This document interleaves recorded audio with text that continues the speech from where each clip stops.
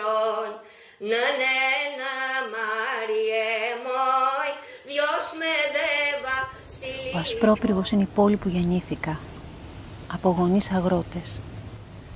Μια αγροτική πόλη που αναπτύχθηκε βία βιομηχανικά. Ωραία ήτανε.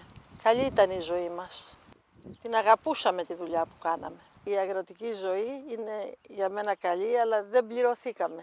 Δεν πληρωθήκαμε δεν πουλιόντουσαν πάντα τα προϊόντα μας και πάντα είμαστε πιο χαμηλά.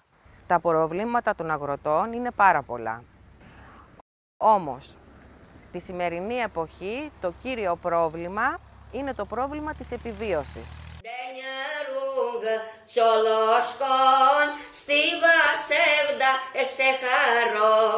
Να ναι, να Μάριε μόι, Διός με δε silicoi, kur bërë para kotinesh, do jërdi